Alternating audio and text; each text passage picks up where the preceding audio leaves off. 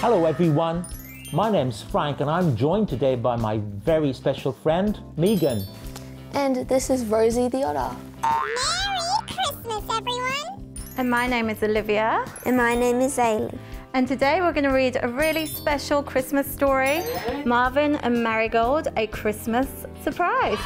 It's a very, very special story about Marvin and Marigold, who are two little mice. Are you ready to go, Zaeleigh? Yep. Okay, let's get started. So on the 1st of December, Marigold Mouse found a rather large box at the front of her house. The box had a special note on it. It was addressed to Miss Marigold Mouse, Bustleton Road, Mouseville, and the sender was Mrs. M. Mouse Sr. What could this be? She wondered out loud as branches and baubles fell out on the ground. Oh my! Making a big mess. It's a huge mess. A Christmas tree. Yeah, Marigold Mouse, dancing with joy as she ran around her house. On top of the box was a tinsel wrapped note, handwritten in ink the way people once wrote. Marigold sat down to read what it said. To my darling Marigold, inside this box are some things I hold dear that I place on the Christmas tree every year. You'll find us all sorts of treasures and trinkets inside. When you put up the tree, please hang them up with pride. There's Grandma's old thimble and Bethlehem star, Aunt Mabel's gold charm with a, a silver guitar, and a tattered archangel from our very first tree that your great grandmother passed down to me. My favorite of all are the old Christmas lights that twinkle and twirl as they shine through the night. Now here is my Christmas wish for you, dear. Please add something new to your tree every year. Love, Mother. XXXOOO. What a great letter. Then, looking outside, he saw Marvin next door, sitting alone with a sock on his paw. So she called up his number on her little mouse phone. It's Christmas time, Marvin. Don't spend it alone. But I don't have a tree in my little mouse house and no presents to give. Sobbed Marvin the mouse. Don't worry, Marvin, I have some gifts you can share, like a red Christmas balls that twirl in the air. Then Marigold whispered as soft as can be. My mother has sent me a new Christmas tree. Come over and help decorate it with me.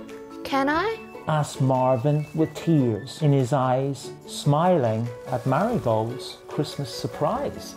So Marvin walked over through Marigold's gate with some biscuits and cheese on a porcelain plate. Then they carefully unpacked the tree from the box and inside they discovered a pair of red socks.